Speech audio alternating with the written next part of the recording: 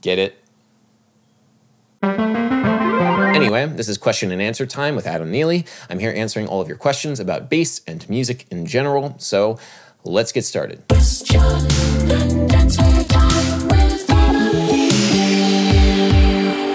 The Great Benzoni writes, It's so weird seeing Adam with hair. Yeah, it is a little weird, isn't it? Uh, my New Year's resolution was to have hair, and so far, I am succeeding. Alex Santini writes, Hi Adam, can you explain why a power chord sound me like a major chord despite hasn't a third? So that's a good question, and the reason is because the major third features prominently in the overtone series. If you take a root fifth octave power chord on a guitar and add distortion to it, what you're doing is you're adding upper harmonic content to the basic fundamental sound. So I can demonstrate this with a synthesizer. Every time that I add a harmonic to a sine wave, or in other words, a multiple of the fundamental, it sounds like I'm adding more and more notes to kind of like a chord, but it also starts sounding more and more like it's harmonic distortion, like a guitar chord. And this is basically at the core of what distortion is. You're adding more notes on top of a fundamental. This is why, even though technically speaking, yeah, you just have the root, the fifth, and the octave, you'll still be hearing that major third quite prominently because it is literally there.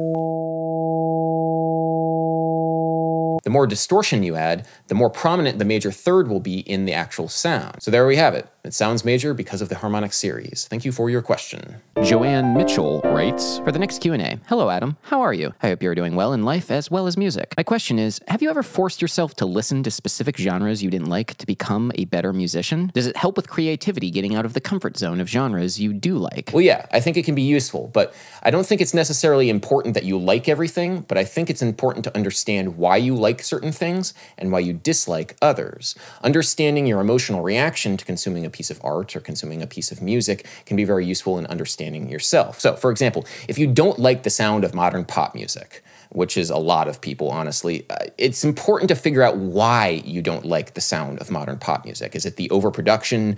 Is it the auto tuned vocals? Is it the cheap and trite lyrics? Why do you not like something? Is it everything? Maybe it's everything. Figuring out why you don't like modern pop music can help you focus in on the things that you do want to do with your own music making. So, if overproduction just really makes you feel like, oh God, this is this is not music, this is terrible, maybe you need to focus in on lo-fi music and raw, aggressive sounds and distorted vocals and things that are kind of the antithesis of modern pop music. But maybe that isn't your jam. Maybe you don't like the lo fi sound, and maybe the reason why you don't like modern pop music is because of the trite lyrics. So maybe you need to focus in on much more poetic and much more meaningful lyric writing and songwriting. This is the benefit of critical thought and critical listening. You're trying to figure out what something is. You know your reaction to it, you don't like it, but you don't necessarily know what it is just yet. Through the process of figuring out exactly what it is, you're learning a lot more about yourself and learning a lot more about your reaction to music. This is the interesting thing about music theory and music analysis for me.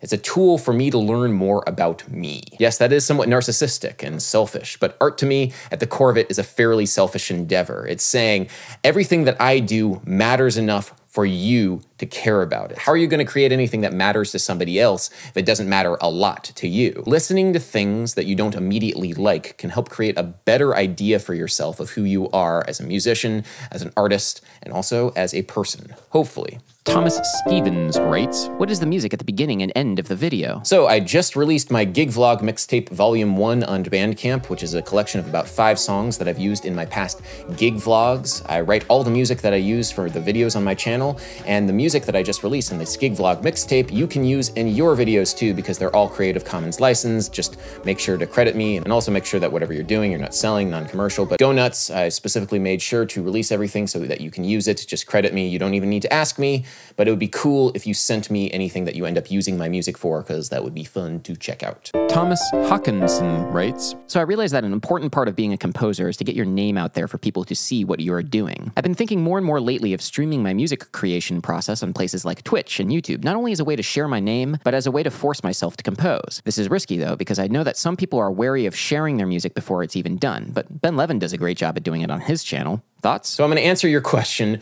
with a question. And the question that I'm answering your question with is actually a question that you can answer any question with. And that question is what would Miles Davis do? Now, why am I talking about Miles Davis? Well, Miles Davis was at the vanguard of basically every development in jazz music for half of a century. He was an innovator of bebop in the 1940s, as well as hard bop in the 50s, free jazz in the 60s, fusion in the 70s, more fusion in the 1980s up until his death in 1991. He was kind of like just at the forefront of everything. There's really no other musical figure quite like Miles Davis. To do what Miles Davis did would be like if the Rolling Stones came out with like a trap album now and it was actually pretty good and everybody was excited to hear the Rolling Stones trap album. That's kind of like how Miles Davis reacted to every new development in music as the decades progressed. So I'm asking this question, what would Miles Davis do? Because it's an important question to ask of anybody. Right now, I'm a YouTube content creator, and that's great, and that's working out for me. And you know, a lot of musicians are aiming to get put on like Spotify playlists, but like five years from now, the entire landscape's gonna be quite different. And I think the landscape, and you can quote me on this, is going to shift more and more towards live streaming. I can already kind of see the writing on the wall with a service like Twitch, which is now actively courting musicians to do live streams and show the behind the scenes of like the creative process for writing and recording and all that good stuff. And I can definitely see the resistance to that, not just from the idea that people might steal ideas, but mainly the idea that when you're a musician and when you're recording and when you're composing, you want to show the world your end product because that's the thing that will communicate the idea from you to them and something that you'll be proud of. You don't necessarily want to show all of the failures that created that product and all of the dead ends, all the things that aren't communicating your idea as like clearly as you want to. So the live streaming thing, I mean, I guess it will take a while to really like figure out for musicians. And if you see on Twitch, it's not a lot of people composing things behind the scenes because honestly, at the end of the day, Okay everything that you see and consume online is entertainment in one way or another. And the behind the scenes process for composing in a live stream, unedited, unfiltered sort of thing, is just not that entertaining. If you go on Twitch right now, it's a lot of like uh, request channels, which is much more entertaining, quite frankly, than the boring behind the scenes of composing. So it's going to be an interesting sort of transition to the live streaming model. I'm not sure if everybody is going to jump ship immediately, and it's going to be interesting to see how it changes. So Thank you for your question. Alexander Burns writes I've hit a brick wall in terms of furthering my knowledge of jazz harmony. I don't really know where to go with what I've learned. I'd really like to get better at arranging, reharmonizing, and composing. Do you have any recommendations of books or resources that might help me get out of this rut? So I get asked this question all the time, and it's very difficult to answer it because me, as a person on the other end of a camera, I can't, I can't know. I can't know you. I can't know your experiences.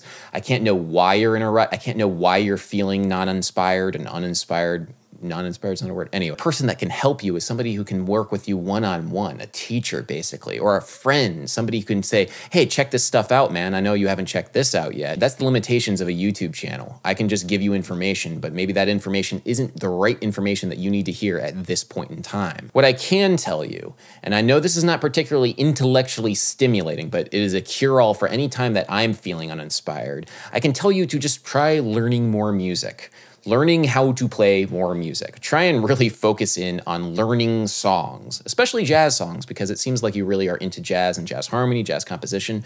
Learn songs. Learning repertoire, learning songs, learning just to play things is at least a way of making sure that you're working, you're doing something, you're putting in time and energy on your instrument. So even though you might not feel like you're growing, you will be because any time that you spend putting time in your instrument is time that you're spending growing. So yes, this answer might not be intellectually stimulating. I might not be able to give you the key that you need at this point in your life because I'm not a private teacher. I don't know you that well and I just can't do it from right here. But I can say that learning music and playing music and making sure to do that religiously, doing it every day is a way to get better and become a better musician. So, yeah hopefully hopefully you can use that advice to escape your rut. So thank you for your question. Anton Kurdakov writes, Question for the next Q&A. Do you have any general tips for notating rhythms? As I'm writing more and more and hoping to get live musicians to play the music, I'm beginning to realize the importance of not making their eyes bleed. I was always told to notate the third beat of the measure, but how would that work in odd time signatures? Same general principles? So I'm going to answer this question with a,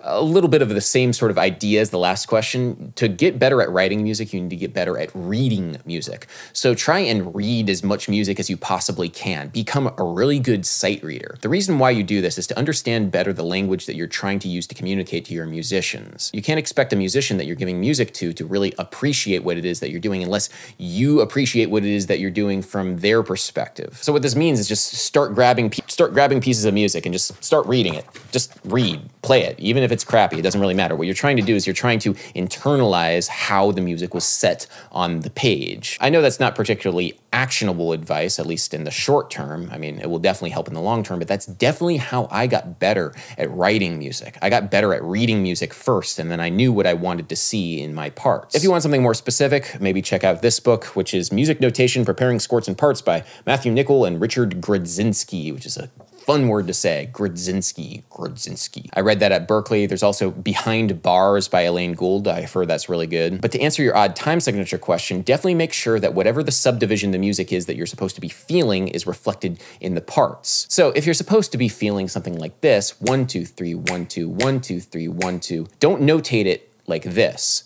one, two, three, one, two, one, two, three, one, two, one, two, three, one, two. It kind of goes contrary to how the music is actually supposed to be felt. Make sure you can always visualize the subdivision because anytime you have any sort of meter, you can subdivide and you're supposed to subdivide. That's how people actually feel the music. So thank you for your question, and I would really strongly encourage you to read more music if you want to write sheet music for other people to read. Desconcerto writes, There's no rules theory. Use whatever chords you want. Make up your own chords. Play any notes you want. Come up with new genres. The sky's the limit. Yeah, I guess we could say that's true. And if we're going to read from the Holy Book of Theory, Vincent Persichetti's 20th Century Harmony, we would find any tone can succeed any other tone. Any tone can sound simultaneously with any other tone or tones, and any group of tones can be followed by any other group of tones, just as any degree of tension or nuance can occur in any medium under any kind of stress or duration. You might notice that I've annotated this passage like this. But even though the sentiment of the comment in the Vincent Persichetti is essentially the same, Vincent Persichetti backs it up with an entire book of incredibly useful and practical tips for composing composing, things that you can actually do, things that you can actually learn, trying to understand music on its own terms and trying to figure out how people achieved certain effects. When somebody approaches this book wanting to learn something, they will. When somebody approaches this comment wanting to learn something, they won't. And this is why I feel like this sentiment most of the time is absolutely useless because there's nothing backing it up. You can't actually learn anything from it. It's almost tautological. It's something that can't be falsified. Yeah, congratulations, you can do whatever you want. But what do I want? How do I actually do anything? And when you're trying to learn something, as many people in music are actually trying to do, they're trying to get better at something, this is not what they want to hear. They want to hear, how do I learn and try and achieve the sound in my head better? What sorts of tools can I actually use to achieve this? These are the things that you would actually try and apply. Put it this way, and I hate to get this crass, but would somebody actually pay you to teach them that information? Probably not. They don't really care to hear that information. That's not useful to them. When I'm trying to do my How to Not Suck at Music series, I'm trying to give actual practical advice, something that somebody in theory would pay for, in theory. Maybe it's not always going to be the best advice, and maybe I'm not the best teacher for them, but it's always in good faith. It's something that's difficult to translate into the YouTube medium because people want to hear things that are reassuring to their own worldview, and the idea that somebody might critique something that they like is not particularly reassuring to that worldview, especially coming from somebody like me who comes off as fairly smug in any of his videos. And I totally understand why that is. I that's just me. So sorry guys. I'm still definitely going to be doing the series, but it was a little bit of a wake up call to me. So I'm going to sort of tweak some things in future episodes. So anyway, Pat Bauman writes, "I don't like your curtains." Sorry. Um, I apologize. I'll get better curtains for future videos um, because that's really what people want to see in Adam Neely's channel. His curtains. Vincenzo Frosolone writes, What would you recommend to somebody who wants to compose video essays such as yours? Thank you. So I love watching video essays. It's kind of an interesting new, almost art form that has come from the medium of online video. And, you know, I definitely watch a lot of essays on like art and like film theory. I've learned a lot from like Every Frame a Painting is one, and like Nerdwriter does great ones. Austin McConnell's another one. But if you want to like create video essays for yourself, make sure that you really write a tight script like, make sure that every word and every sentence is exactly where it needs to be in order to argue a coherent thesis. Because honestly, a video essay is just the same thing as an essay that you would write for school. You're trying to argue a point through research. So that brings me to my second point is make sure that you have researched the hell out of whatever subject that it is that you're going to be talking about. Really know your stuff. People will react better if you actually know what it is that you're talking about. And chances are you're going to know what you're talking about a little bit more if you are really passionate about your subject. So write a good script, research it, be passionate about it. And uh, yeah, good luck. Željko Rački writes, I hope I pronounced that relatively correctly, but probably not. Hey, Adam, I noticed that you commonly refer to the title band leader. Is this kind of role division often in the New York music scene? A better question would be if this is the only case in which the music is performed in the New York scene. Are you a band leader in some of your projects? So sometimes people have this idea of bands as sort of a musical democracy, where the whole creative decision making process is collectivized to one degree or another, where everybody has equal input on songwriting or decision making processes when it comes to like gigs, what gigs to take. And everything is a consensus. Everybody comes to a consensus. Now the problem is is that it gets a little bit poisonous when some people want to do certain things and other people want to do other things and it is held to a vote and some people are outvoted. And the thing is that poisoned atmosphere has no place in the world of professional music because professional music is a job. It's a profession. And what job have you ever had where you didn't have a boss or a manager. Very few jobs, I would think. In working music and professional music, a job needs to be done now, and a band leader is the person that makes it happen. There's no room for hurt feelings. You just need to do your job and do it now. For example, a band leader might write the music or organize the music or arrange the music for, say, like a jazz quartet gig at a restaurant. And say maybe the drummer gets food poisoning an hour before the gig, the band leader is going to be the person that finds the new drummer and makes sure that they know the music so that they show up to the gig prepared to play. There's no argument, there's no decision making process, there's just the band leader and the people that they have hired to do a gig. You could also call a band leader a musical director, or if you're in the classical world, the conductor. But in most situations, I really appreciate there being one person being the creative force and the decision making force behind a particular musical project. I would say that I'm the band leader of my project Sungazer with Shawn Crowder because I'm doing most of the booking and I'm writing the music and producing the music. And I'm also band leader of my new project called Adam Neely's Jazz School. We're doing our debut concert at Rockwood Music Hall, Stage 2, 7 p.m. on March 1st. So come check us out in the Lower East Side of Manhattan. You won't be disappointed. There will be lots of crazy music happening. So thank you so much for watching this episode of Question and Answer Time. I'll see you next time.